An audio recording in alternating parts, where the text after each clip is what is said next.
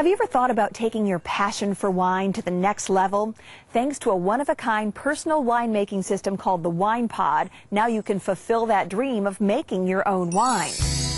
Meet some wine enthusiasts bringing wine country home by creating their own wine with the Wine Pod. It's a good way to start the day. Good way to start and finish.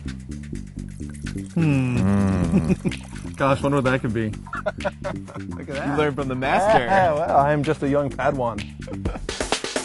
Beyond me. What's in there? Little Napa River Cabernet, Oh, really? straight from the Napa Valley. Mm. Ooh, it's delicious. All right.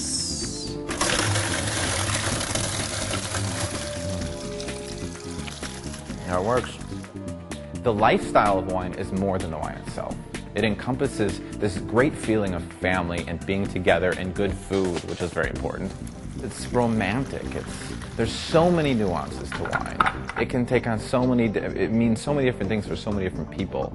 When you buy a wine pod or use a wine pod, and you make the wine yourself. You do it because it's a fabric of what you do every day. Your friends and your family get to interact with you like they normally would anyway, but now there's another element. If you bring a pie over to somebody's house, you're like, wow, you made this?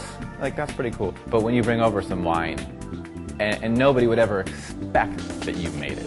And then they, you- you're like, oh yeah, I, uh, I made this from these grapes. And like, you made this? Like the wine? You don't just make wine. And actually, yeah, you do. It's the ultimate in basement winemaking is the wine pod. It's the most romantic way to do it. You're doing it yourself in a small scale. We did two tastings here with uh, Wine Pod wine. We used the Rancho Sarco Cabernet that we made here. We used uh, premium Napa Valley Cab, uh, entry level Napa Valley Cab, and uh, Cab Shiraz from Australia. And we blind tasted everyone, just put it in the glasses and let it go. And hands down, the Rancho Sarco Cab we made here was clear cut. And I, I was surprised. I thought there was going to be a lot more involved as far as the making of the wine. It's not that big a deal. It's not rocket science. It's pretty cool, the, the dashboard and how it shows all the temperature and you can control it right there and it walks you through. If you have a question about something, it guides you through it. The wine pod enables every one of us to be able to just go in and make wine and not feel as if we need all the other add-ons and additions and addendums that we see as we're driving through Napa or through Sonoma and just see acres and rows and silos and trucks and we're like, oh my God, I could never do that. You can do it.